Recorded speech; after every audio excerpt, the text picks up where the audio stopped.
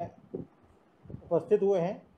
आज का webinar lungs care foundation एवं शहरी विकास मंत्रालय भारत सरकार तथा आगरा स्मार्ट सिटी के सहयोग से संपन्न किया जा रहा है जिसमें professor doctor Shri Arvind and professor Shri Bilal जो दोनों ही हैं आप दोनों ही वेदांता से वेदांता से संबंधित हैं।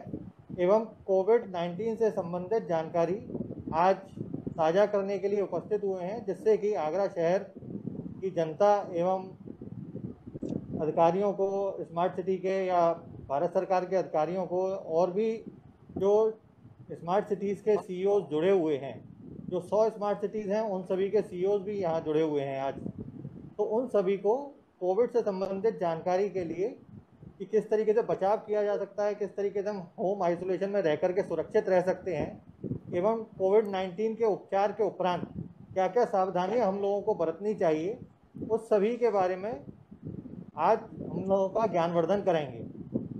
अब मैं माननीय महापौर महोदय से अनुरोध करूँगा कि वो अपना कुछ दो शब्द कहें, जिसके उपरांत डॉक्टर्स अपनी बात को एक प्रेजेंटेशन के माध्यम से हम लोगों को समझा सकें।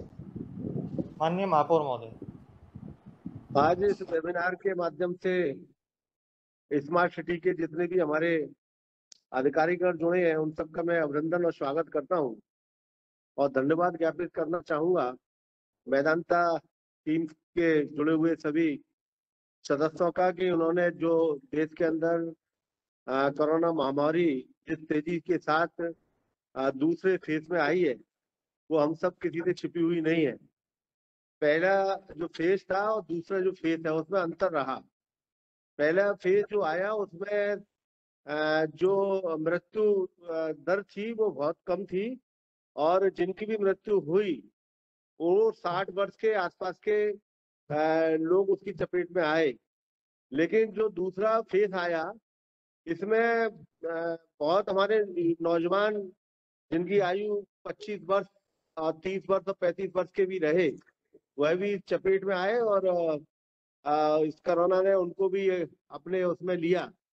और निरंतर भारत सरकार की ओर से इस लड़ाई को लड़ने का प्रयास किया जा रहा है और जो भी बेहतर से बेहतर प्रयास हो सकते हैं वो तो भारत सरकार और राज्य सरकारों के द्वारा किया जा रहा है।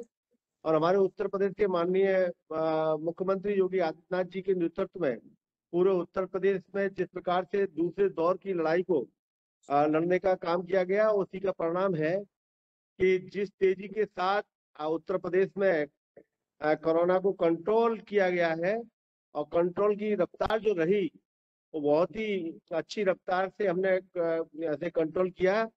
और जिस प्रकार से लखनऊ में भी पाँच हज़ार केस प्रतिदिन कोरोना के आ रहे थे, और आगरा में भी 900 केस प्रतिदिन आ रहे थे, वह घटकर आगरा में 900 के स्थान पर अब 100 केस रह गए और लखनऊ में भी बहुत तेज़ी से ये केस कम हुए और जिसकी संख्या 250 के आसपास की हो गई है।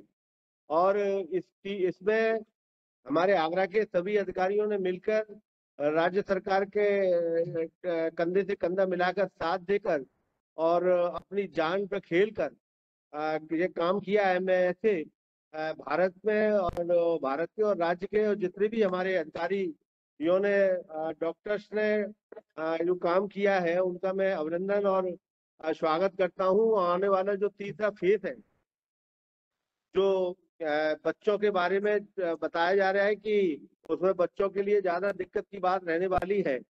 उस फ़ेज़ को भी हम उसको फेस को भी लड़ने का काम करेंगे और उससे भी उभरने का हम काम करेंगे। और, सब पूरा देश जब एक होता है तो कोई भी लड़ाई बहुत आसान हो जाती है। और मुझे लगता है जिस प्रकार की इस लड़ाई में सभी देशवासियों ने, नागरिकों ने सरकार का साथ दिया है, उससे तीसरे फ़ेज़ को भी हम विजय हासिल करेंगे और इस कोरोना नाम की महामारी को इस देश से नष्ट करने का काम हम लोग करेंगे। अब मैं डॉक्टर अरविंद कुमार जी से अनुरोध करूँगा कि वह अपना प्रेजेंटेशन देने का कष्ट करें। डॉक्टर अरविंद कुमार जी।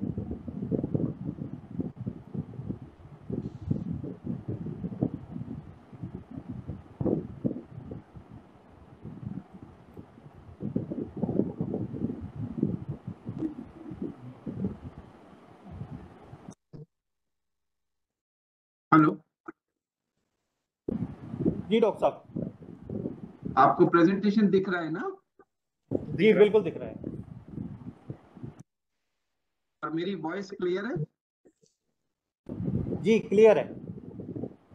ठीक है। तो अभी तो हम ये टेस्टिंग ही कर रहे हैं ना? नहीं नहीं this is live sir live है आप लाइव है। No no but this is live sir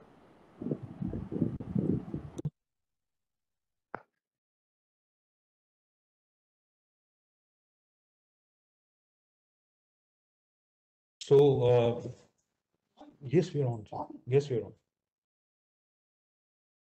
So doctor Arvind कुछ टेक्निकल ग्लिच है तब तक मैं डॉक्टर बिलाल बिन आसफ मैं स्मार्ट सिटी प्रोजेक्ट के लोगों और uh, हमारे ऑनरेबल आगरा के मेयर साहब मिस्टर नवीन जैन का बहुत बहुत शुक्रगुजार हूँ कि उन्होंने हमें ये अपॉर्चुनिटी दी है कि हम इस uh, बीमारी जो कि सेकेंड वेव है उसके बारे में कुछ बात करें ये सेकेंड वेव जैसा कि सर ने बताया कि बहुत डिफरेंट है पिछली बार से और इसने कई चीज़ों को अफेक्ट किया है। हमारे सिम्टम्स डिफरेंट आए हैं, लोगों को जो अफेक्ट हुआ है वो डिफरेंट रहा है। द एज ग्रुप जो जिन लोगों को ज़्यादा प्रॉब्लम्स हुई हैं, वो भी अफेक्टेड हैं। मोर्टेलिटी रेट जो है या मृत्यु दर जिसको कहते हैं, वो पिछली से बार से ज़्यादा है।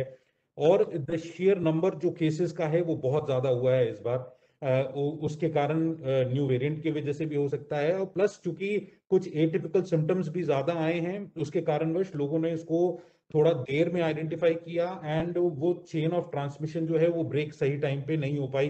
प्रॉब्ली इसलिए जो है भी जो स्प्रेड है वो थोड़ा ज़्यादा हुआ है इस प्रोग्राम के माध्यम से हम जनरल पब्लिक में अवेयरनेस फैलाना चाहते हैं। अबाउट कोविड 19 का ये जो सेकेंड वेव आया है इसमें क्या डिफरेंट है, क्या सिम्टम्स हैं जिनको आइडेंटिफाई करना चाहिए हमें और कैसे हम क्या कर करके इसकी चेन ऑफ़ ट्रांसमिशन को तोड़ सकते हैं। ये बड़े इंपॉर्टेंट पॉइंट्स हैं। प्लस इसके बाद हम कुछ ऐसी बातें करेंगे जिनमें घर पे रह करके कैसे इलाज करना चाहिए और आगे की प्रक्रिया क्या होनी चाहिए कोविड से रिकवर होने के लिए।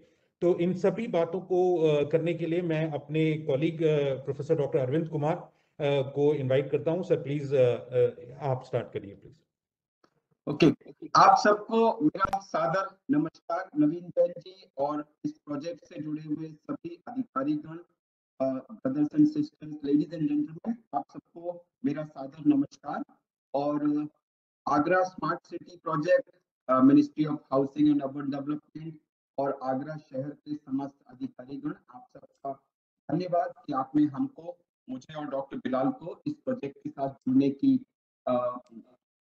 अपॉर्चुनिटी दी, क्योंकि ये स्मार्ट सिटी प्रोजेक्ट के साथ जुड़ करके हम ये नॉलेज शेयर कर रहे हैं तो हमने सोचा कि इस प्रोजेक्ट का नाम भी हम स्मार्ट ज्ञान प्रोजेक्ट रख लें और इसकी शुरुआत आज आगरा शहर से हो रही है। तो अगले कुछ दिनों में, और ये प्रोग्राम लंग केयर फाउंडेशन की तरफ़ से है। लंग केयर फाउंडेशन एक एनजीओ है जो हम लोगों ने स्टार्ट किया है, जो लंग से जुड़ी स्वास्थ्य संबंधी सूचनाओं को पब्लिक के साथ शेयर करता है और इस लंग से जुड़ी एस्पेक्ट को प्रिवेंटिव हो पोल्यूशन से रिलेटेड हो, उन सब के बारे में जानकारी देना, कार्यवाही करना इस सब एरिया में काम करता है।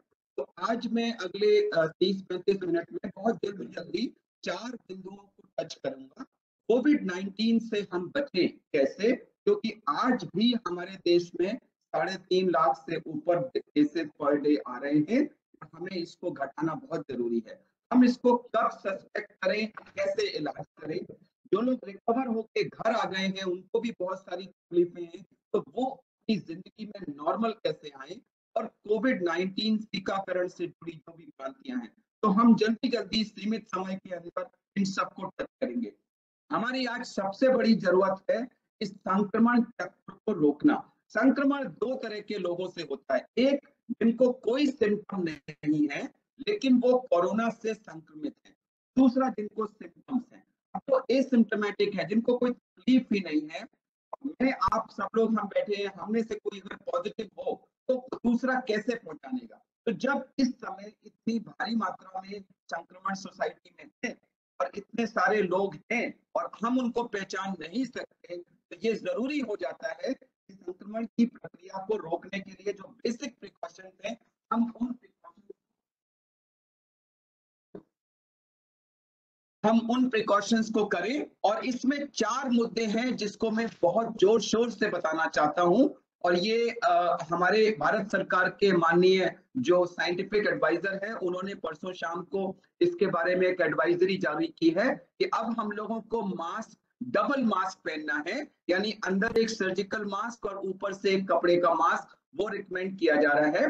सोशल डिस्टेंसिंग जो हम अब तक दो मीटर कहते थे तो उन्होंने परसों एक बहुत सुंदर पीडीएफ फ़ाइल जारी की है, जिसमें कहा गया है कि जो भारी भारी ड्रॉपलेट्स हैं, वो तो दो मीटर के अंदर गिर जाती हैं, लेकिन जो पतले पतले कण होते हैं, वो एक भाप के रूम में दस मीटर तक जा सकते हैं। और खास कर से अगर आप बंद जगह पे हैं तो वहाँ पर वो काफ़ी घंटों तक रह सकते हैं और कोई दूसरा व्यक्ति अगर वहाँ आए तो वो संक्रमित हो सकता है। इसी वजह से बंद जगहों पर वेंटिलेशन होने की बात पर बहुत ज़ोर दिया जा रहा है कि अगर आपने मीटिंग की एक कमरे एयर कंडीशन कमरे के अंदर और उसमें आठ दस लोग बैठे वो एयर कंडीशन कमरा है, चारों तरफ़ से बंद है, एक व्यक्ति भी अगर संक्रमित है तो उसका जो एरोसॉल मुँह से निकलेगा, वो आठ दस मीटर तक उस कमरे में फैलेगा और कई घंटों तक रहेगा।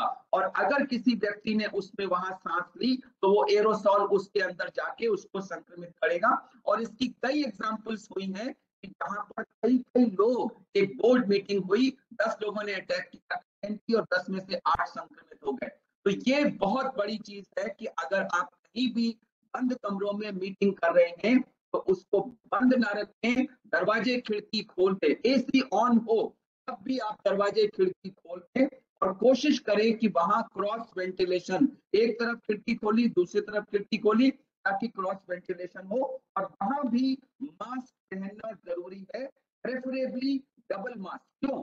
डबल जो बेस्ट प्रोटेक्शन होता है, वो तो देखिए इस N95 मास्क से आता है, जो करीब करीब पिचानवे परसेंट प्रोटेक्शन। प्रोटेक्शन मतलब अगर मैंने इसके अंदर हंसा या बोला तो पिचानवे प्रतिशत कण बाहर नहीं आएँगे। और अगर बाहर संक्रमण है और इसको लगाए हूँ तो मेरे पिचानवे प्रतिशत कण मेरे अंदर नहीं जाएँगे। तो अगर सबने N95 पहना हुआ है तो मेरे पिचानवे प्रतिशत कण बाहर नहीं आए। और जो कण बाहर आए, उसका पिचानवे प्रतिशत आपके अंदर जाने से रुक गया। तो हमें जो वायरस का संक्रमण की मात्रा होगी, वो बहुत ही कम होगी। जिससे चांस कम हो जाता है। तो इसीलिए हम लोग कह रहे हैं कि जब आप घर के अंदर भी हो, अगर आपका कोई बाहर वाला व्यक्ति है तो घर में भी आप मास्क पहनिए। मीटिंग्स आपकी हो रही है, सब लोग दो मीटर की दूरी रखें, फिर भी मास्क पहने, क्योंकि अब एरोसॉल 10 मीटर की दूरी तक फैल सकता है और आपको चौथी चीज़ है हाथ धोना। तो ये चार बिंदु एसिम्टोमेटिक लोगों से संक्रमण रोकने के हैं अब जहाँ तक सिम्टोमेटिक लोग आए, उनकी बात है कि आप लक्षण को फटाफट पहुँचाने और उनको आइसोलेट करें और टेस्ट रिज़ल्ट का इंतज़ार ना करें। इस बिंदु को भी मैं टच करूँगा इसमें गलतियाँ हमसे कहाँ पर हो रही हैं। हम लोग सब चाहे बुखार का इंतज़ार करते हैं। पिछले साल के मुकाबले इस साल हमने ये देखा है, कई रोगियों में गले में खराश होना, नाक बहना आँखें लाल होना, सर में दर्द होना, बदन में दर्द होना, कमर में दर्द होना, जोड़ों में दर्द होना नौशिया वॉमिटिंग डायरिया हाथ में चकत्ते रैश पड़ जाना, इस तरह के सिम्टम्स से ये बुखार शुरू, ये बीमारी शुरू हो रही है। बुखार एक दिन, दो दिन, तीन दिन के बाद आ रहा है। मेरे अपने दो तीन साथी हैं, जिनको ये डिज़ीज़ डायरिया से शुरू हुई, और उन्होंने सोचा कि ये तो शायद हमारा पेट खराब हो गया होगा। हमने कहा, नहीं, आजकल ये डायरिया से शुरू हो रही है टेस्टिंग कराई और वो पॉजिटिव निकले। तो मेरा कहना ये है कि आज के परिप्रेक्ष्य में जहाँ इतनी भारी संख्या में लोग पीड़ित संक्रमित हैं। इनमें से कोई भी सिम्टम अगर आप तो आप उसको कोविड माने मान करके अपने को सबसे पहला स्टेप है अपने को आइसोलेट करें। आप टेस्टिंग द्वारा पता लगाए जाने का इंतज़ार ना करें। क्योंकि वो इंतज़ार करते करते हो सकता है, देरी हो जाए और चार पाँच दिन का समय लगा तो आप उस चार पाँच दिन में लोगों को संक्रमण फैलाते रहेंगे। ये बहुत ही अहम बिंदु है, जिससे हमें संक्रमण को रोकने में बहुत मदद मिलेगी। अब हमारे पास टेस्टिंग है रैपिड एंटीजन टेस्टिंग एक रैपिड एंटीजन टेस्टिंग है और दूसरी है आरटीपीसीआर टेस्टिंग तो मैं बता दूँ रैपिड एंटीजन टेस्टिंग तो करीब 50 परसेंट केसेज में फॉल्स नेगेटिव हो सकती है और आरटीपीसीआर करीब करीब 30 परसेंट में नेगेटिव फॉल्स नेगेटिव हो सकता है। तो ये दो टेस्ट फॉल्स पॉजिटिव कभी नहीं होते फॉल्स नेगेटिव हो सकते हैं। यानी कि अगर ये पॉजिटिव हैं तो तो आप हंड्रेड परसेंट कोरोना संक्रमित हैं। लेकिन बाई चांस अगर ये नेगेटिव हैं तो आज की तारीख में हम सिम्टम्स को प्रायोरिटी देते हैं, ये फिर भी कोरोना हो सकता है और आपको अपने को आइसोलेट करके कोविड मान के ही ट्रीट करना है। ये बहुत अहम बिंदु है, क्योंकि तो बहुत सारे लोग ये सोच के कह नहीं डायरिया गला खराब, ये तो मैंने अचार खा लिया था, दही खा लिया था। वो इसको इग्नोर कर रहे हैं और इसी वजह से संक्रमण फैल रहा है। अब आया कि आपको सिम्टम्स थे आरटीपीसीआर रिपोर्ट पॉजिटिव आई या नेगेटिव आई? आपने इसको डिसाइड किया कि ओके, मैं मानता हूँ कि ये कोविड है, अब आगे इलाज कैसे करें? ये खुशी की खबर ये है कि 85 से 90 परसेंट लोग माइल्ड बीमारी से संक्रमित होते हैं। केवल 10 से 15 परसेंट लोग मॉडरेट या सिवियर में जाते हैं, जिनको अस्पताल में जाना पड़ता है।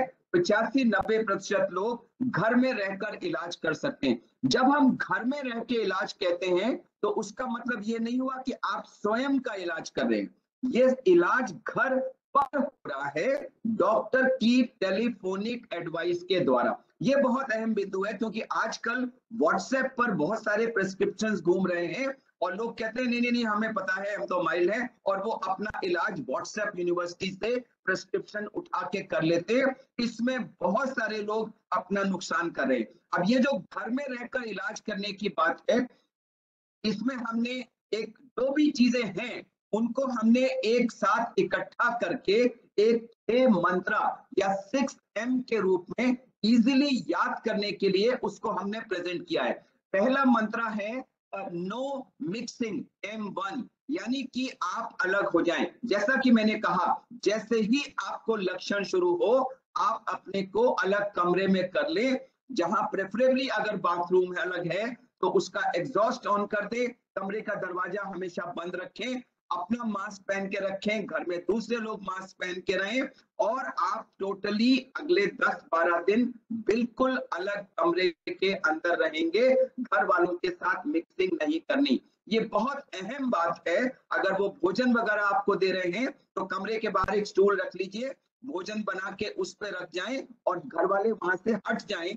आप मास्क लगा के दरवाज़ा खोलिए और वहाँ से भोजन उठा लीजिए, दरवाज़ा बंद कर दीजिए, फिर वो बर्तन उनके साथ शेयर ना हो या फिर उनको पानी में उबाल लिया जाए। और एग्जॉस्ट ऑन रखिए। आप अपने दरवाजे के खिड़की बाहर की तरफ़ वाले खिड़की वगैरह खोल के रखिए ताकि आपका एरोसॉल बाहर की तरफ़ निकल जाए। अगर आपके हवा की भाप घर की तरफ़ गई तो दूसरों को संक्रमण का बहुत खतरा है। तो ये तो पहला हुआ नो मिक्सिंग यानी अलग कर जाए दूसरा होता है दवा। अब दवा में सबसे ज़रूरी चीज़ है बुखार के लिए पैरासिटामोल टैबलेट। तो हम कहते हैं कि 500 या साढ़े छह मिलीग्राम की गोली छह छह घंटे पर लगातार लेते रहे। इसके साथ में विटामिन सी, जिंक, सलाइन से आप गर्म पानी से गार्गल्स कर लें। दो तीन बार दिन में भाप ले लें और स्टीम ब्रीदिंग एक्सरसाइजेस जो मैं आगे आपको बताऊँगा। ये तो हुए कुछ अनकंट्रोवर्शियल इनमें से किसी भी चीज़ में कोई कंट्रोवर्सी नहीं है। थोड़ी सी जो कंट्रोवर्सी है, वो ये है कि बहुत सारे लोग एंटीबायोटिक जैसे एजिथ्राल डॉक्सीसाइक्लिन वगैरह इस्तेमाल कर रहे हैं। तो मैं इसके बारे में कहना चाहूँगा कि इसके बारे में दो राय हैं। कुछ लोग कहते हैं कि ये देने से थोड़ा बहुत बीमारी को फ़ायदा होता है, लेकिन ज़्यादातर लोगों का मानना है कि वायरल डिज़ीज़ में इनको देने की कोई ज़रूरत नहीं है। अखिल भारतीय आयुर्विज्ञान संस्थान ने जो अपनी एक संसूचना जारी की है, उसमें उन्होंने इसके देने के बारे में बिल्कुल मेंशन नहीं किया है। फेबी फ्लू भी इस्तेमाल हो रही है, लेकिन कोई ऐसा डेफिनेट प्रूफ नहीं है कि ये रोगियों को फ़ायदा दे रही है। तो वो अगर आपके डॉक्टर इंसिस्ट करें तो आप ले लें, लेकिन मेरे हिसाब से इनसे आपके आउटकम में कोई फ़र्क नहीं पड़ेगा।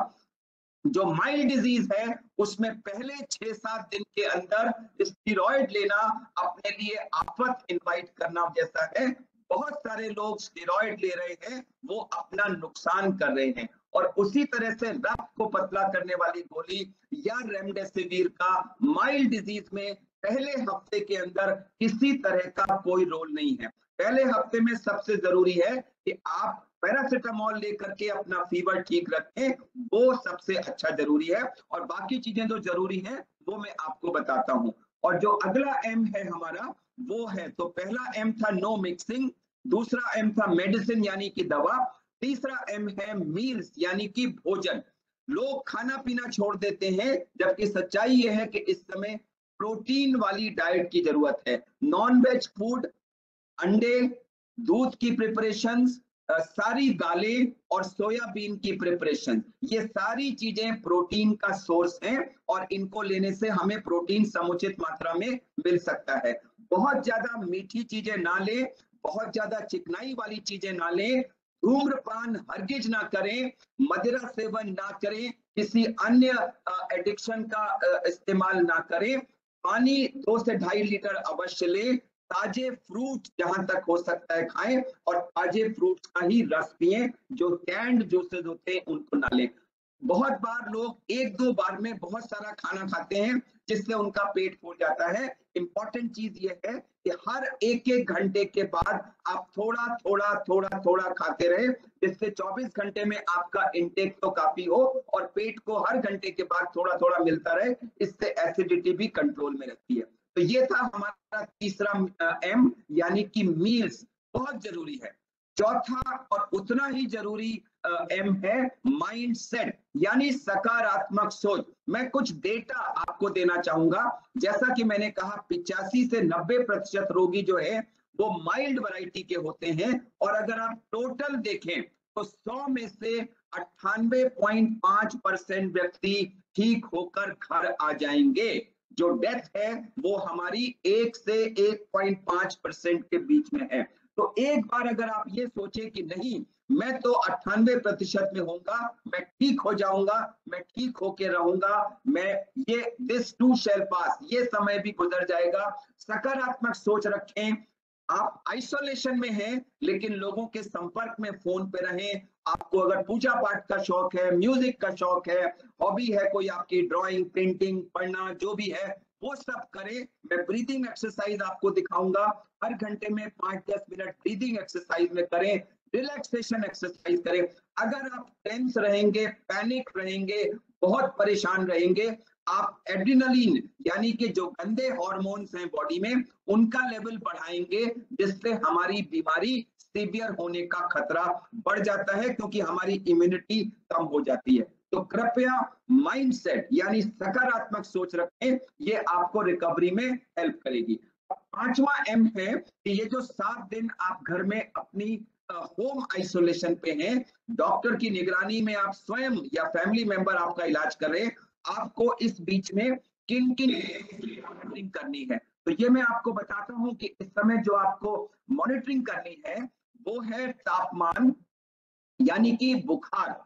अगर आपका बुखार 103 104 के आसपास रह रहा है क्रोसिन या कोई भी गोली लेने के बाद भी नहीं कम हो रहा है तो वो एक खतरनाक चीज़ है। फिर आपको डॉक्टर को संपर्क करना चाहिए।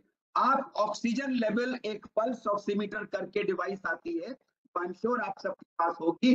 पल्स ऑक्सीमीटर सही तरह से लगाकर आप हर एक दो घंटे में एक बार अपना ऑक्सीजन चेक करें। और दूसरा जो चीज़ एक मैंने और अगर जिसके पास पल्स ऑक्सीमीटर नहीं है उनके लिए प्रपोज की है कि लोग गहरा सांस खींचकर उसको जितना गहरा खींच सकते हैं, खींच के रोके और उसको रोक के रखें। इस पर हमारा एक वीडियो है जो मैं आपको उसकी ओपनिंग प्लेट शेयर करूँगा। इसको हम कहते हैं सांस रोकने का समय, जो नॉर्मली एक एडल्ट में 30 सेकंड से ऊपर होना चाहिए। तो आप जब घर में आइसोलेशन पे हैं तो अपना सांस का समय अगर कम है तो रोज मेहनत करके थोड़ा थोड़ा थोड़ा थोड़ा बढ़ाएँ।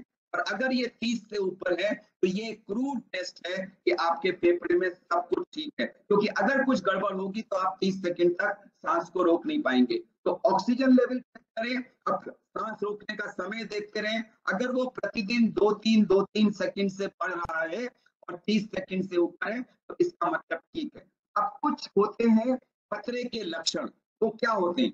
अगर आप देखिए, थोड़ी बहुत खांसी तो हर कोरोना पेशेंट को होती है, लेकिन अगर आपको बहुत ज़्यादा एक्सेसिव खांसी कंटिन्यूसली आ रही है, आपके छाती में बहुत ज़्यादा दर्द हो रहा है, आपकी सांस फूलने लगी पसलियाँ चल रही हैं, बहुत तेज सांस फूलने लगी, या आपका सेचुरेशन कम होने लगा ऑक्सीजन लेवल पर हम उसको 94 को मिनिमम लेवल मानते हैं। अगर 94 से कम हुआ, इसका मतलब कि आपके लंग्स इफ़ेक्ट हो रहे हैं। या आपके सांस रोकने का समय सडनली कम हो गया? आपको लगातार उल्टी या दस्त हो रहे हैं या बेहोशी की हालत डेवलप हो रही है? तो ये सारी चीज़ें ऐसी हैं जिनको हम खतरे की घंटी कहते हैं कि अगर आपका बुखार, और खासकर से अगर बुखार आठवें दिन के बाद भी तेज बुखार चल रहा है तो वो एक खतरे का द्योतक है कि कहीं कुछ गड़बड़ ना हो।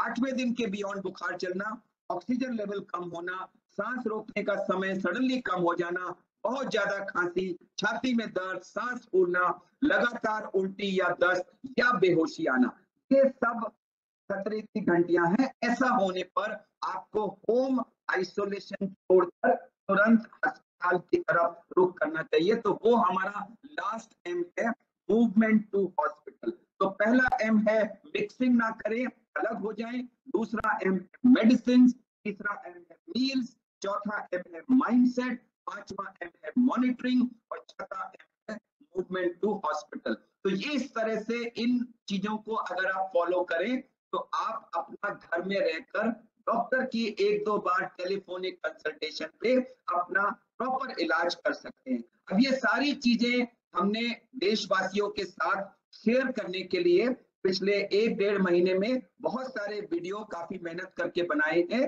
जो YouTube पे सोशल मीडिया पे हैं, मैं यहाँ वीडियो तो नहीं दिखाऊँगा, लेकिन जो उनकी ओपनिंग प्लेट है, वो आपके साथ शेयर कर सकता हूँ ताकि आप लोग बाद में इनको। तो जो मैंने ये सिक्स मंत्रास बताए, इनको हमने इस वीडियो में दर्शाया है कोविड 19 के लक्षण और घर में रह के अपना इलाज। तो ये वीडियो आप देख करके इन सारी बातों के बारे में विस्तृत जानकारी ले सकते हैं।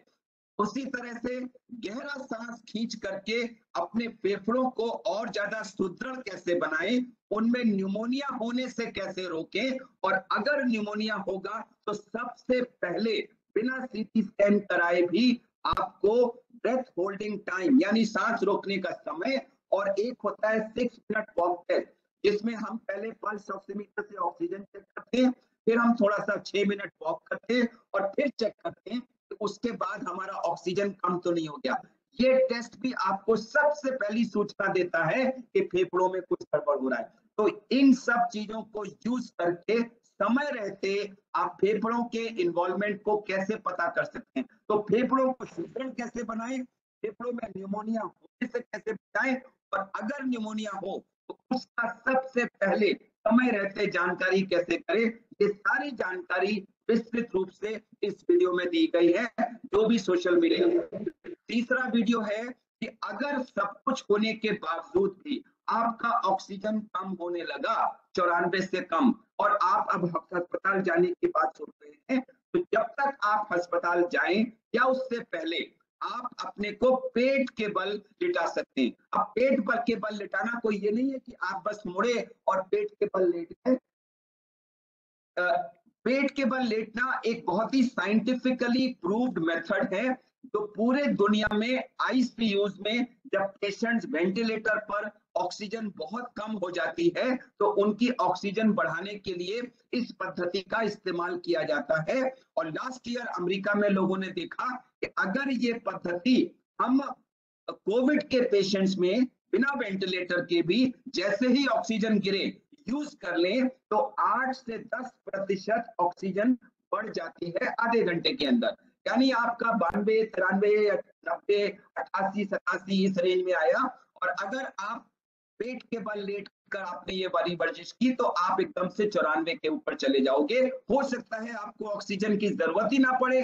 और अगर पड़े भी तो हो सकता है बहुत कम पड़े। और अगर आप अस्पताल भी गए, तब भी आपकी ये वीडियो भी करोड़ों लोगों ने इसको देश भर में देखा है और इससे बहुत फ़ायदा पाया है। ये भी सोशल मीडिया पे है।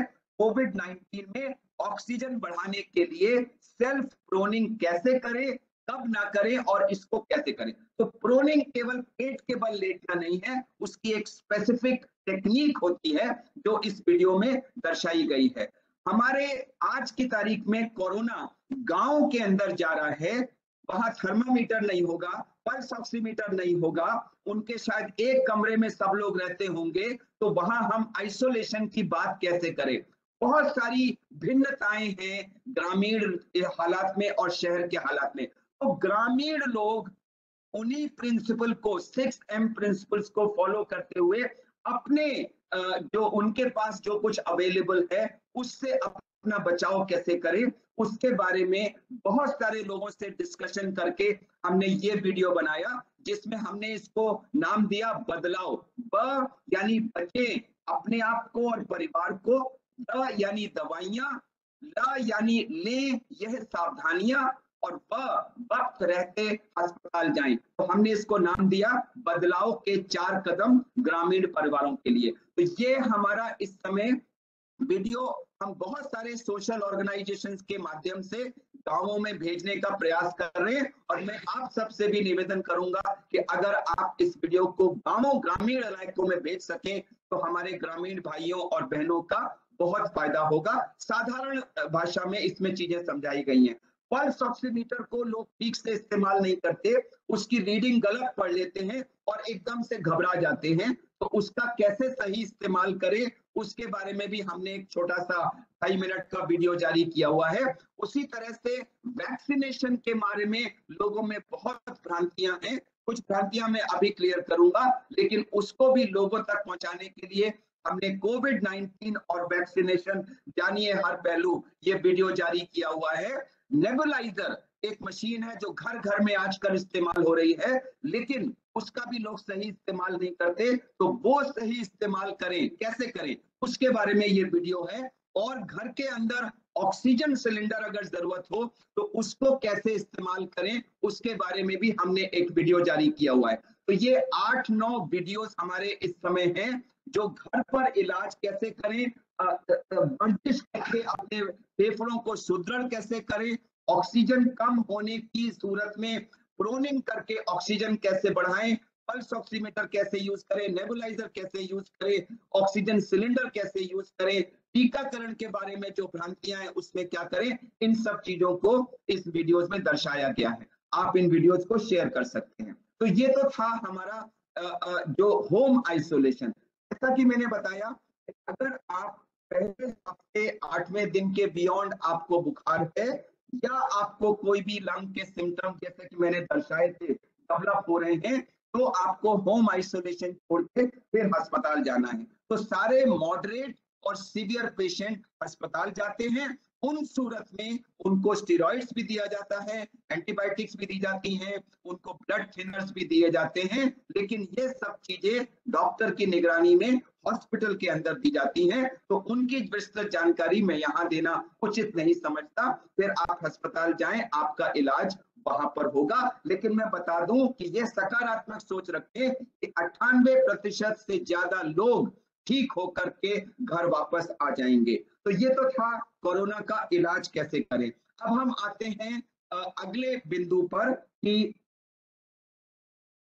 हम रिकवर होकर कोरोना से आप आ गए। अब उसके बाद क्या है? तो इस समय ये देखा जा रहा है कि जो मॉडरेट सीवियर पेशेंट रिकवर होकर घर आ रहे हैं, उनमें से 80-90 प्रतिशत लोगों में कुछ न कुछ कुछ न कुछ दिक्कतें परसिस्ट कर रही हैं।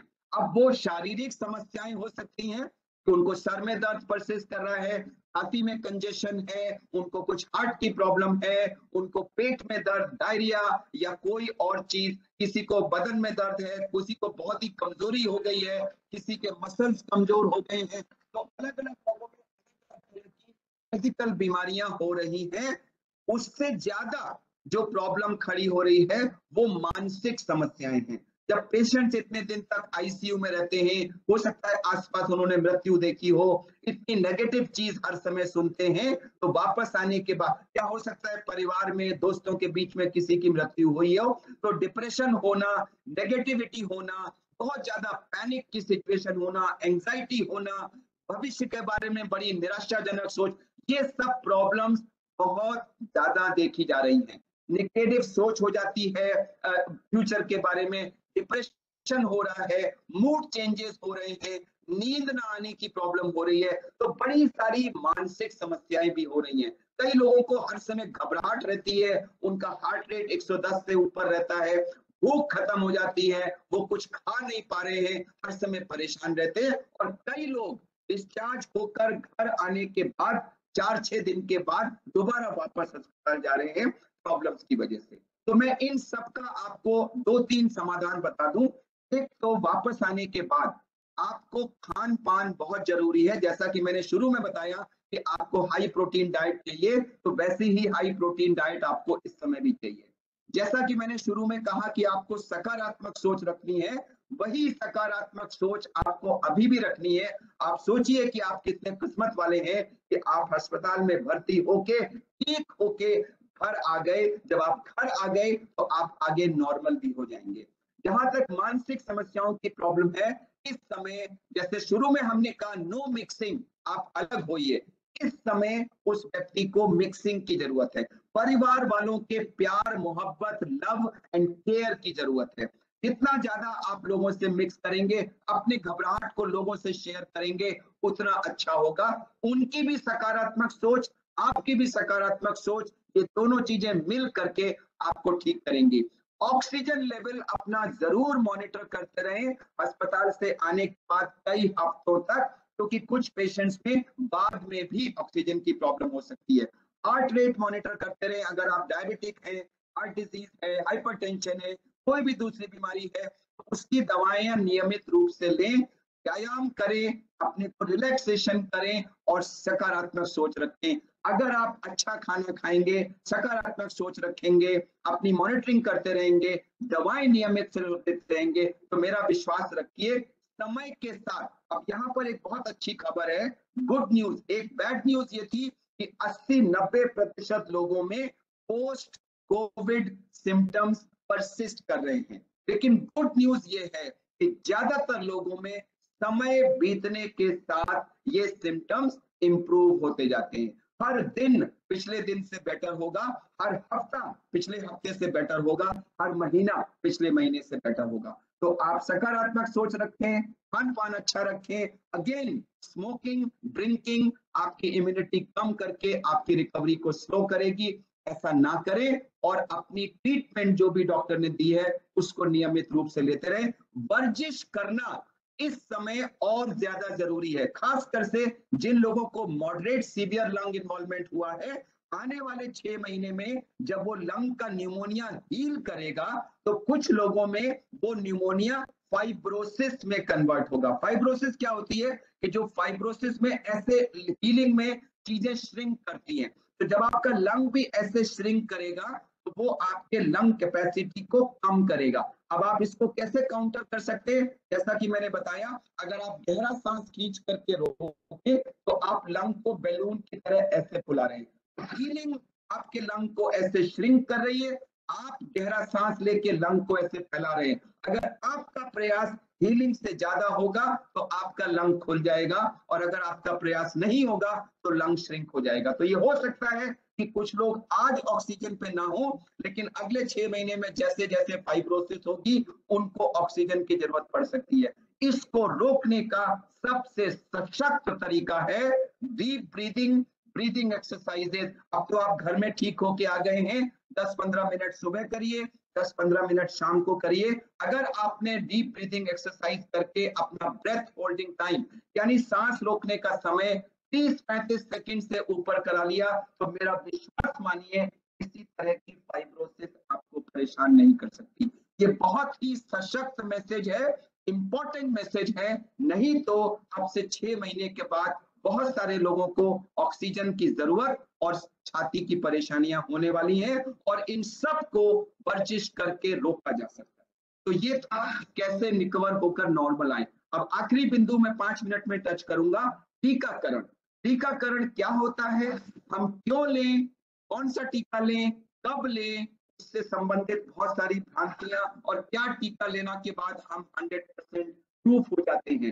तो टीका एक, टीका पहली चीज़ तो यह है कि टीका मरीज़ को नहीं दिया जाता, टीका नॉर्मल लोगों को दिया जाता है। मरीज़ का इलाज किया जाता है और नॉर्मल लोगों को बीमारी होने से रोकने के लिए टीका दिया जाता है। टीके में हम वायरस का पूरा का पूरा जिसको मार दिया गया होता है या उसके शरीर का कोई हिस्सा जो है उसको निकाल करके हम शरीर में इंजेक्ट करते हैं और उससे हमारी बॉडी एंटीबॉडीज बनाती है और वो एंटीबॉडीज भविष्य में हमको उस वायरस के संक्रमण से रोकते हैं। जब वायरस हमारे शरीर में जाता है तो अगर एंटीबॉडीज होती हैं तो वायरस उसको अंदर सेल्स को अटैक नहीं कर पाता। तो ये होता है पर्पस टीकाकरण का। हमारे बॉडी को इम्यूनिटी डेवलप करना एंटीबॉडीज बनाते। पहली डोज हमारे बॉडी में इस प्रक्रिया की शुरुआत करती है, वो उसको कुछ लेवल तक ले जाती है, लेकिन उसके बाद हम डिफरेंट पीरियड ऑफ़ गैप के बाद दूसरी डोज देते हैं, जो उसको एक दूसरे हायर लेवल पे ले जाती है, और दूसरी डोज के दो हफ़्ते बाद वो एंटीबॉडी समुचित लेवल पे पहुँचती हैं, जो हमको प्रोटेक्शन देती हैं। तो ये हुई टीका। क्यों ले और टीका कैसे काम करता है? हमारे देश में कोविशील्ड दो वैक्सीन, ये दो वैक्सीन देश के अंदर बन रही है और स्पुटनिक वैक्सीन को आई थिंक चंद दिनों के अंदर अवेलेबल हो जाएगा। कोवैक्सीन कोविशील्ड, दोनों बहुत इफ़ेक्टिव हैं, दोनों की दो डोज लगती हैं। कोविशील्ड की दो डोजेस के बीच में चार से छह हफ़्ते का गैप होना होता है और कोवैक्सीन का और कोविशील्ड में अब जो लेटेस्ट रिकमेंडेशन है, उसके हिसाब से हमें तीन से चार महीने का, बारह से सोलह हफ़्ते का गैप पहली और दूसरी डोज के बीच में रखना होता है। बहुत से लोग ये सवाल पूछते हैं कि किसको वैक्सीन लगे, किसको ना लगे।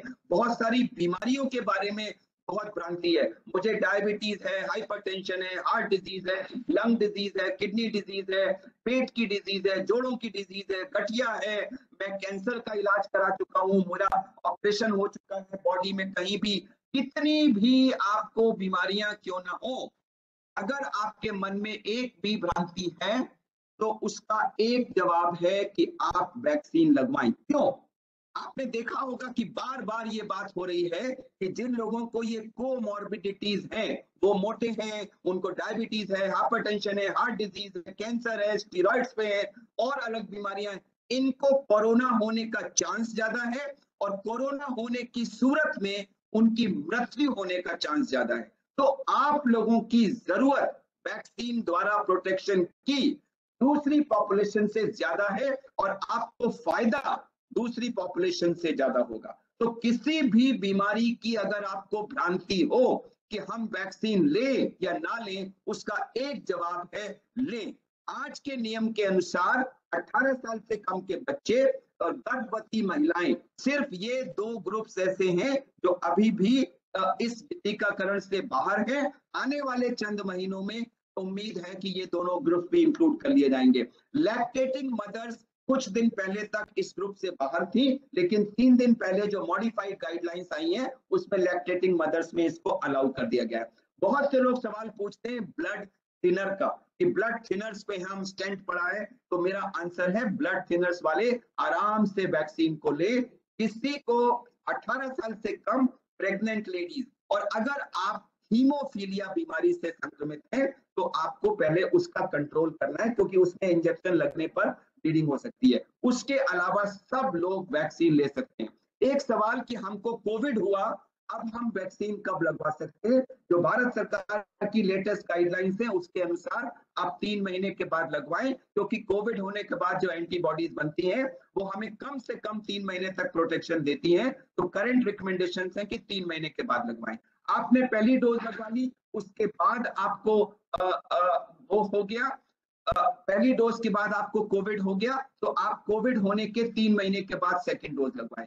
बीच में गैप हो सकता है कोवैक्सीन की सूरत में बढ़ जाएगा, लेकिन फिर भी आपको लगवाना ज़रूर है और आप तीन महीने के बाद लगवाए। कोविशील्ड आपने लगवाई, बीच में कोविड कोविड हो गया, आप तीन महीने के बाद लगवाएँ। एक बहुत इंपॉर्टेंट बिंदु है कि दोनों वैक्सीन की डोज लगाने के दो हफ़्ते के बाद आपका प्रोटेक्शन आता है लेकिन ये प्रोटेक्शन 70-80 परसेंट होता है 100 प्रतिशत नहीं होता यानी कि 25, 30, 35 परसेंट लोगों को फिर भी कोरोना हो सकता है। हम लोग ये मानते हैं कि ये माइल्ड डिज़ीज़ होती है और इसमें सीरियस प्रॉब्लम्स और डेथ नहीं होती थी। लेकिन मैं आपसे शेयर करना चाहूँगा कि पिछले छह हफ़्ते में कुछ डॉक्टर्स नर्सेज पत्रकार और फ्रंटलाइन वर्कर्स जो दोनों वैक्सीन ले चुके थे, उनकी भी मृत्यु हुई है। तो ये जो मृत्यु और वेंटिलेटर और आईसीयू से बचाव है, जो हम दो महीने पहले तक सोचते कि 100 प्रतिशत है, सौ प्रतिशत बचाव नहीं है, लेकिन फिर भी very high level of protection from death from ICU from ventilator and from severe disease है। माइल्ड डिज़ीज़ मोस्टली होती है। इसलिए कुल मिलाकर मैसेज ये है कि शीघ्र शीघ्र वैक्सीन लगवाएँ। दोनों डोजेस सेम वैक्सीन की होना चाहिए, उसको मिक्स नहीं करते हैं। बाकी लोग पूछते हैं, ये बेटर है कि वो बेटर है? दोनों अच्छी हैं, और जब स्पुटनिक आ जाए तो वो भी अच्छी है। आपके शहर में जो भी मिल रही है, शीघ्र शीघ्र उसको लगवाएँ। एक बात ध्यान रखिएगा कि चूँकि वैक्सीन लगवाने के बाद भी हमारा प्रोटेक्शन 100 प्रतिशत नहीं है इसलिए कोविड संयम, यानी कि मास्क पहनना, दूरी रखना, कमरों में इकट्ठे ना होना और हैंड हाइजीन, ये कोविड संयम वैक्सीन लगने के बाद भी सौ प्रतिशत चलेगा। उसको हम बंद नहीं कर सकते। कृपया कोविड लगवाने, वैक्सीन लगवाने के बाद अपने को बिल्कुल ये कि मैं तो अब हनुमान जी बन गया, अब तो मुझे कोविड छू ही नहीं सकता, ये गलती ना करें, आप अपना नुकसान करेंगे। अब आखिरी बिंदु बहुत से लोगों ने मुझे मैसेज भेजा है कि मैं ब्लैक फंगस के बारे में भी बात करूँ। वैसे तो नोटिफाइड डिज़ीज़ है। हमें कहा गया है कि हम उसके बारे में ना बात करें, लेकिन मैं चूँकि ऑफिशियल से बात कर रहा हूँ, इसलिए मैं उसको आपसे शेयर कर लूँगा कि ब्लैक फंगस एक, ये ब्लैक नहीं होता, ये एक फंगस है जो हवा में होता है और हम सबकी सांस में ये अंदर जाता है। लेकिन जब व्यक्ति की इम्यूनिटी कम हो जाती है तो ये व्यक्ति उस, ये फंगस उस व्यक्ति को जकड़ लेता है। मैं इस समय सांस ले रहा हूँ। मेरी सांस में ये फंगस जा रहा है, लेकिन मेरी इम्यूनिटी ठीक है तो मुझे कुछ नहीं हो रहा है। लेकिन अगर मेरी इम्यूनिटी कम होगी तो ये फंगस मेरे शरीर में जड़ कर सकता है। तो ये जो कोविड के पेशेंट्स हैं डायबिटिक इनकी डायबिटीज़ बहुत खराब है। जिनको भारी मात्रा में बहुत लंबे पीरियड तक स्टीरॉइड्स दिए गए इसीलिए मैंने कहा था बार बार कि पहले हफ़्ते में लोग स्टीरॉइड्स का स्वयं सेवन ना करें, उससे आप मुश्किल इन्वाइट करेंगे। ये बिंदु है, अगर आपने स्टीरॉइड्स का अननेसेसरी सेवन किया तो दोनों डायबिटीज़ और स्टीरॉइड्स मिलके आपकी इम्यूनिटी कम करते हैं और वो फंगस फिर आपके नाक में जाके बैठ जाता है साइनस में जाता है, आँख में जाता है ब्रेन में जाता है और उसकी बहुत हाई मोर्टेलिटी है। दूसरा एक और फंगस अब दिख रहा है जो व्हाइट व्हाइट पैचेस कॉज करता है, उसको व्हाइट फंगस कह रहे हैं। और भी आने वाले समय में अलग अलग फंगस आएँगे। कुल मिला के मैसेज ये है कि अगर हम अपनी इम्यूनिटी ठीक रखेंगे, अगर हम स्टीरॉइड्स का मिसयूज नहीं करेंगे डायबिटीज़ को कंट्रोल रखेंगे तो हमारी इम्यूनिटी ठीक रहेगी और ये फंगल इन्फेक्शन आने वाले समय में हमको तंग नहीं करेंगे। और तो ये थी ब्लैक फंगस के बारे में। कुल मिला के अंत में मैं आपको मैसेज ये दूँगा कि कोरोना के इस समय जो संक्रमण का हाल है, उसमें हम सब की सबसे बड़ी जो ड्यूटी है, वो है इस संक्रमण की साइकिल को रोकना। और जैसा कि मैंने कहा, उसके लिए हमारा कोविड संयम, यानी कि को मास्क पहनना ढंग से, मैंने देखा है बहुत से लोग मास्क डालते हैं वो मास्क उनके गर्दन में ऐसे लटका रहता है, उससे कोई फ़ायदा नहीं है। हमारी नाक, हमारा मुँह और थोड़ी पूरी तरह से कवर होना चाहिए ताकि जितनी भी सांस जाए, वो मास्क के थ्रू जाए। अगर साइड से ये ढीला है और साइड से या ऊपर से नाक खुली है तो उससे कोई फ़ायदा नहीं है। तो मास्क पहनना, दो मीटर की दूरी रखना, बंद कमरों में लोगों का इकट्ठा ना होना हैंड हाइजीन ये कोविड संयम, ये हमारा कोविड से बचने का बहुत रामबाण तरीका है। और उसके साथ साथ टीकाकरण बहुत इफ़ेक्टिव तरीका है। हम एक तरफ़ तो कोविड संयम बरते, दूसरी तरफ़ शीघ्र शीघ्र अपने को टीका लगवाएँ, अपने साथ वालों को, परिवार वालों को, मोहल्ले वालों को, देश वालों को टीका लगवाने के लिए प्रोत्साहित करें। जैसे जैसे टीका लगेगा वैसे वैसे इस संक्रमण की साइकिल कम होगी। लेकिन टीका लगवाने के बाद अपने को 100 परसेंट प्रूफ न माने कोविड संयम आपको उसके बाद भी बरतना पड़ेगा। यह मैं आपको मैसेज देना चाहता था कि जो वीडियोस मैंने आपको सब अभी उनकी खाली ओपनिंग प्लेट्स दिखाई है, ये हमारी यूट्यूब चैनल है डी आर अरविंद कुमार नाम से। D R doctor Arvind Kumar नाम से पूरी चैनल है। ये सारे के सारे वीडियो जो छह मंत्रास है होम मैनेजमेंट के ब्रीदिंग एक्सरसाइज प्रोनिंग करना, ग्रामीण लोगों के लिए जो इलाज करना है, और पल्स ऑक्सीमीटर यूज़ करना सिलेंडर यूज़ करना नेबुलाइजर यूज़ करना, और कल सुबह एक और हम अपलोड करेंगे ऑक्सीजनेटर को घर में कैसे यूज़ करें, ये सारे के सारे वीडियोस फ्री डाउनलोड के लिए हमारी डी आर अरविंद कुमार करके यूट्यूब चैनल पर है। सोशल मीडिया पर भी ये वीडियोस घूम रहे हैं। हम इनको आपके साथ शेयर करने के लिए भी सहज तैयार हैं। इनको अगर आप ध्यान से देखेंगे तो आपकी सभी भ्रांतियों का समाधान हो जाएगा। अंत में फिर एक बार मैं माननीय जैन साहब का बहुत बहुत धन्यवाद करूँगा। स्वास्थ्य housing and urban development ministry का धन्यवाद करूँगा। स्मार्ट सिटी प्रोजेक्ट से जुड़े सभी लोगों का धन्यवाद करूँगा, जिन्होंने मुझे और मेरे साथी डॉक्टर बिलाल को आप सबसे जुड़कर ये जानकारी आपसे साझा करने का प्लेटफॉर्म मुहैया कराया। आप सबका बहुत बहुत धन्यवाद। थैंक यू डॉक्टर साहब अभी जो हमारे बहुत सारे यूज़र्स फेसबुक से हम लोगों के साथ कनेक्टेड हैं उनके कुछ क्वेरीज हैं। अगर आपके पास समय हो तो वो क्वेरीज का जवाब देंगे। मेरे पास समय है। सर एक तो उसमें क्वेरी है कि आउट स्टेशन ट्रेवलिंग के लिए हमें क्या क्या प्रिकॉशंस रखने चाहिए? देखिए आउट स्टेशन ट्रैवल करें। मैं अभी ये कहूँगा कि इस समय जो संक्रमण का हालात है, मैं सबको ये कहता हूँ कि यह ऐसा समय है जहाँ हम सबको अपने अपने घरों के अंदर लॉक करके रखने की ज़रूरत है। केवल अनअवॉइडेबल अवॉइडेबल सर्कमस्टेंसेज में ही घर से बाहर निकलें। मुझे अस्पताल आना है, मैं उसको अवॉइड नहीं कर सकता। जो भी लोग हैं एसेंशियल सर्विसेज़ के। आप लोग जैसे अपनी ड्यूटी पर हैं, ऐसी सूरत में ही जाएँ। इसके अलावा किसी भी फन एक्टिविटी या किसी भी अवॉइडेबल एक्टिविटी के लिए intracity intercity inter country country किसी तरह की ट्रैवल इस समय ना करें। ना तो ये आपके लिए सेफ़ है, ना ये दूसरों के लिए सेफ़ है। जैसा मैंने कहा, बहुत भारी संख्या में लोग एसिम्टोमेटिक होते हैं, लेकिन वो इन्फेक्शस होते हैं। आपको नहीं पता, आप दूसरों को संक्रमण दे रहे होंगे, दूसरे आपको दे रहे होंगे। तो मेरी सलाह है कि जब तक हमारी जो ये केसेस की संख्या है, ये बिल्कुल एक सीमित सीमा के अंदर नहीं आ जाती। साढ़े तीन लाख केस पर डे मतलब दुनिया के 50 परसेंट केसेस हमारे यहाँ हो रहे हैं। ये बहुत भारी नंबर है। मैं इस समय ट्रेवल से अवॉइड करने की सलाह दूँगा।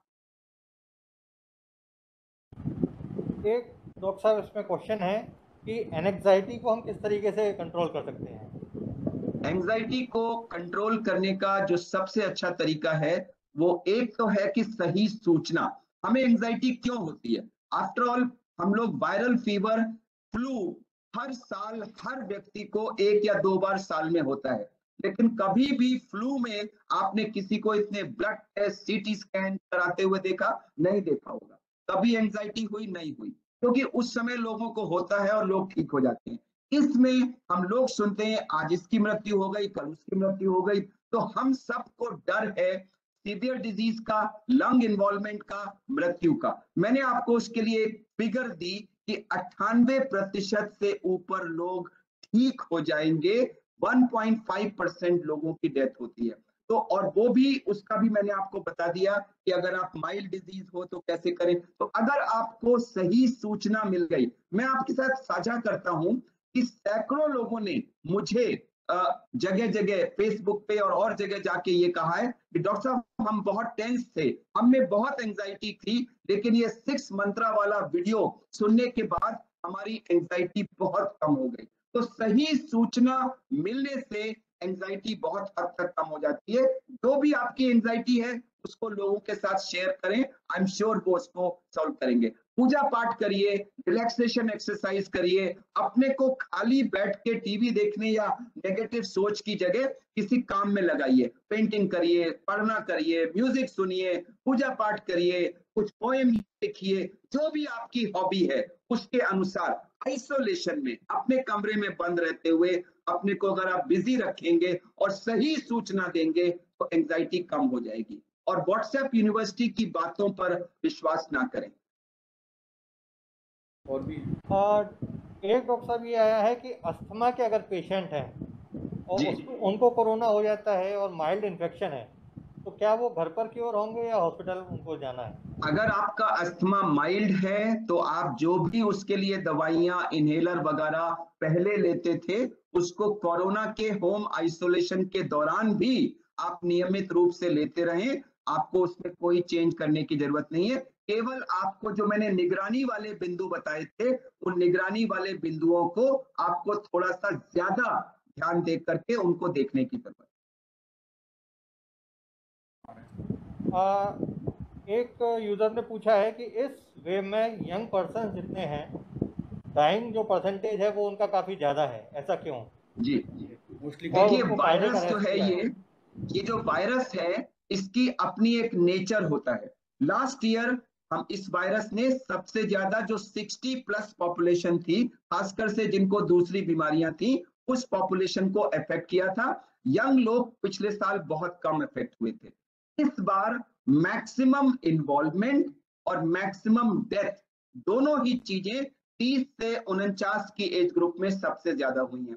एक तो कारण यह है कि जो हमारा 45 प्लस पॉपुलेशन है खासकर से जिनको कोमोर्बिडिटीज है, उनका एक सिग्निफिकेंट तबका जो है, वो वैक्सीनेट हो चुका है और वो कहीं ना कहीं पिछले साल की ये सूचना थी कि 50 साल के उम्र के ज़्यादा लोगों में ये कोरोना ज़्यादा मारता है, उससे डरे हुए थे और उन्होंने आपको, अपने को घर में बंद रखा, जबकि जो ये 30 से 50 की जो पॉपुलेशन थी, इसको लास्ट ईयर बिल्कुल इन्वॉल्वमेंट नहीं हुआ था। वो शायद इस गलत फहमी में रही कि नहीं हमें तो कुछ होने वाला नहीं है लास्ट ईयर भी नहीं हुआ था, और ये पॉपुलेशन वैक्सीनेट भी नहीं हो रही थी। ये वो पॉपुलेशन है जो काम करने के लिए जाती है मिक्स करती है तो उनका एक्सपोजर सबसे ज़्यादा हुआ। अनवैक्सीनेटेड एक्सेसिव एक्सपोजर पार्टियाँ मीटिंग करना सोशलाइजिंग ये सब कुछ भी यही एज ग्रुप ज़्यादा करता है।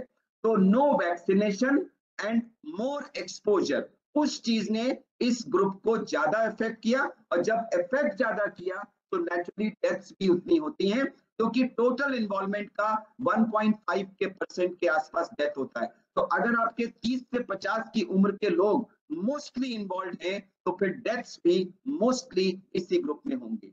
और ऐसा फियर किया जाता है कि अब हमारी 18 से ऊपर की पॉपुलेशन वैक्सीनेट हो रही है, बच्चे हमारे अभी भी अनवैक्सीनेटेड हैं।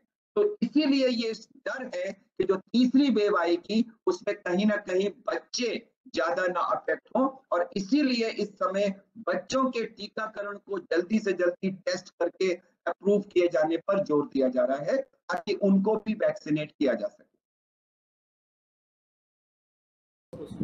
एक क्वेश्चन ये है, डॉक्टर साहब।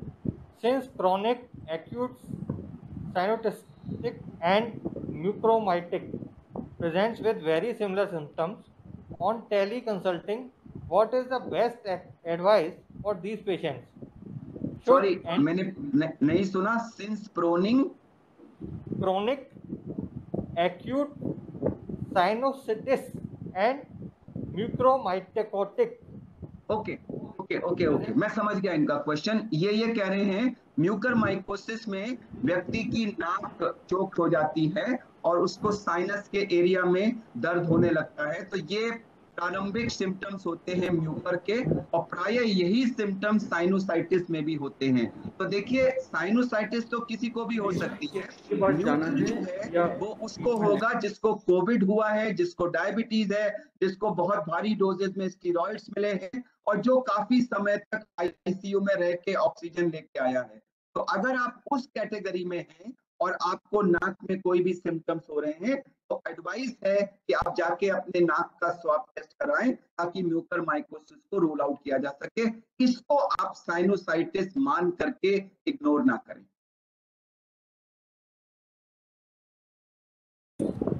आ, इसमें एक क्वेश्चन और है कि अगर मान लीजिए जो दो डोज लगनी है वैक्सीन की अगर किसी ने पहले कोविशील्ड लगवाई है तो क्या वो सेकंड डोज कोवैक्सीन की लगवा सकता है? मैंने ये मैंने ये बताया था कि आप वैक्सीन को मिक्स नहीं कर सकते।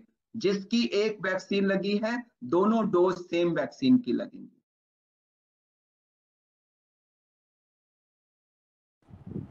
थैंक यू डॉक्टर साहब। आपका इस सेशन से हम लोगों काफ़ी कुछ अच्छी बातें पता चली। इसी के साथ हमारे यूज़र्स और हंड्रेड स्मार्ट सिटीज़ के जो म्यूनसिपल कमिश्नर्स हैं एंड सी हैं वो भी कनेक्टेड रहे हैं, उनको भी काफ़ी कुछ इस बारे में पता चला। मैं आपका बहुत बहुत धन्यवाद देना चाहूँगा एवं हमारे माननीय महापौर जी का और हमारे सीईओ सर का तथा शहरी विकास मंत्रालय की टीम का, जिनके सहयोग से ये सेशन ऑर्गेनाइज हो पाया और आगरा की जनता को और स्मार्ट सिटीज़ को कोविड से रिलेटेड बहुत सारी नई चीज़ें पता चली। जो भ्रांतियाँ थी दूर और जो इसमें भ्रांतियाँ थी वो भी दूर हुई हैं। इसी के साथ मैं ये भी बताना चाहूँगा कि आपके द्वारा जो वीडियोस हमें प्रोवाइड किए गए हैं वो हमारे फेसबुक एवं यूट्यूब जो आगरा स्मार्ट सिटी का चैनल है हमने उस पर भी अपलोड कराए हैं। अगर किसी यूज़र को आपके चैनल के साथ साथ अगर देखना चाहते हैं तो हमारे फेसबुक के आईडी पर तथा यूट्यूब के आईडी पर भी देख सकते हैं। इसी के साथ मैं सभी पूरी टीम को धन्यवाद देना चाहूँगा कि आप लोगों का कीमती समय हम लोगों ने लिया। डॉक्टर अरविंद का और डॉक्टर बिलाल का जो उन्होंने अपने इम्पोर्टेंट शेड्यूल में से इसको ऑर्गेनाइज करा और जनता की बेहतरी के लिए नए नए उपाय बताए। तो अब आप इसको अंत करें। इससे पहले मैं अपने colleague doctor Bilal lung care foundation और मेदांता हॉस्पिटल तरफ़ से आप सब मिनिस्ट्री ऑफिशियल्स का स्मार्ट सिटी प्रोजेक्ट आगरा के और बाकी स्मार्ट सिटी प्रोजेक्ट्स के सभी अधिकारियों का और आगरा शहर के जो माननीय महापौर और सीईओ और बाकी लोग जुड़े, उन सब का धन्यवाद। और आप सब लोग जिन्होंने अपने प्रयासों से इस प्रोजेक्ट को सफल बनवाया, मैं आप सबका तहे दिल से धन्यवाद करता हूँ कि आपने इस प्रोजेक्ट को हमारी रिक्वेस्ट पे आगे बढ़ाया। आई एम श्योर जो लोग जुड़े हैं, उनको जानकारी से आगे ज़रूर लाभ होगा और भविष्य में भी हम आपके साथ जुड़ने के लिए जहाँ तक संभव होगा, हमेशा तैयार थैंक यू तो अब हम इस सेशन को कंक्लूड करते हैं और अगर किसी भी सहायता की ज़रूरत होगी तो हमारी टीम या हमारे जितने भी लिसनर्स हैं, वो आपसे कांटेक्ट करेंगे।